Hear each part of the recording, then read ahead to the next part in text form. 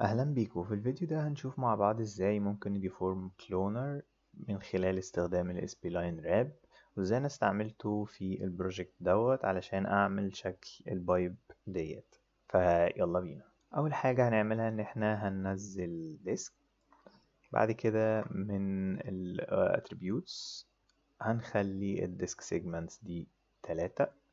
طبعا هندوس N B عشان نشوف إحنا بنعمل إيه بالظبط. بعد كده هندوس C عشان نخليه editable هنعلم على الأداة اللي بتخلينا نعلم على ال faces وبعدين هنجيب ال selection tool هندوس على تسعة. هنعلم على ال polygons ديت. وبعدين هنعمل لها delete.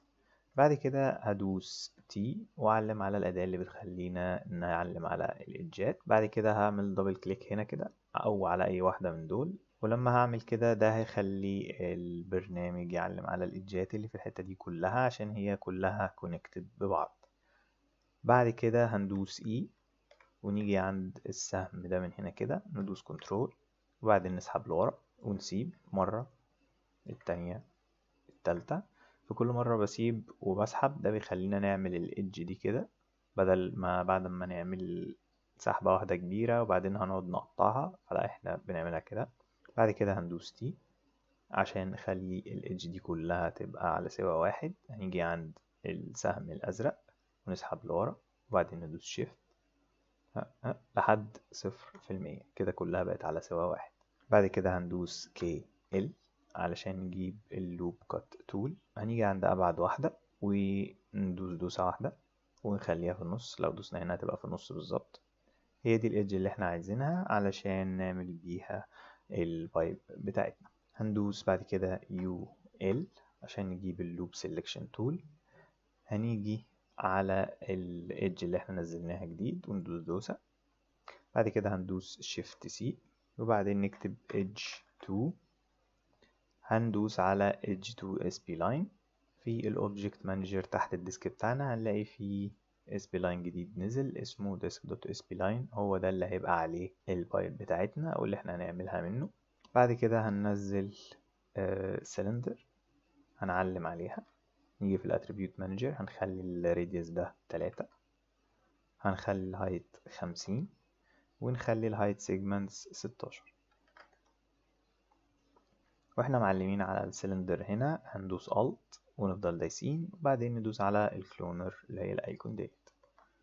ده هيخلي ال cloner يبقى parent لل cylinder الطبيعي أو أي حد لسه بيبتدي هيقول خلينا نخلي دي ال mode بتاع ال cloner يبقى object ونحط له ال spline اللي إحنا عملناه دوت في ال object tab ومثلا هنخلي ال rotation هنا تسعين علشان يبقى كل ال clones aligned. ونرجع تاني لل object ونخلي دي even ونعلي ال count طبعا كل ده مش بيحل ال issue بتاعة التكسيرات اللي إحنا شايفينها ديت. فهيبتدي تفكيرنا نروح إن إحنا نحط deformer. فهننزل uh, spline deformer أو spline wrap.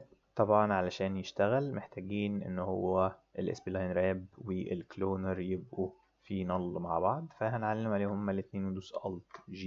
هنفتح ال null اللي طلع. أهم حاجة في ال stack ديت إن ال spline يبقى فوق وبعدين ال cloner ده هيخلي ال spline يعرف إن هو هيكلو هي... هيشتغل على ال cloner دوت. طبعا لو علمنا على ال spline wrap هنلاقيه بيقول أنا عايز spline علشان أعمل عليه deform هنحط له ال spline اللي إحنا طلعناه قبل كده. طبعا اللي بيطلع نتيجة غلط خالص ومش ده اللي إحنا عايزينه. وكل ده حصل علشان إحنا استعملنا ال mode الغلط في ال cloner. فعشان نصلح اللي إحنا عملناه هنرجع لل cloner تاني. تحت ال mode بدل object هنخليها linear وهنروح لل transform نيريست ديت نخليها zero طبعا هنلاقي الشكل ده طبعا شكله غلط خالص. فهنرجع line wrap ونختار plus Y هنلاقي الشكل طبعا بقى أحسن بكتير. وهو ده الشكل اللي إحنا كنا عايزينه في الأول. تحت ال mode بتاع ال spline wrap هنلاقيه fit spline في الطبيعي ممكن إحنا عايزينها تبقى keep length. لو عندنا مثلا أي texture محطوطة على السلندر مثلا وإحنا بن deform فعايزين شكلها يبقى مظبوط فهنحتاج إن هي تبقى keep length. وبعدين هنرجع لل cloner تحت ال object tab هنعلي ال count بدل تلاتة هنخليها أربعتاشر أو خمستاشر يعني على حسب. لو دوسنا F اتنين وبصينا من فوق هنلاقي إن ال curvature مش مظبوط. ممكن نبقى إحنا عايزينها تبقى شكلها curved بطريقة أحسن من كده. هنعلم تاني على ال disk spline تحت ال type هنلاقي linear فممكن نخليه B-spline لو بصينا هنا بنلاقي إن الدنيا ظبطت زي ما إحنا عايزين. لو حطينا الديسك ده جوه subdivision surface. لو علمناه كده ودوسنا alt ودوسنا هنا.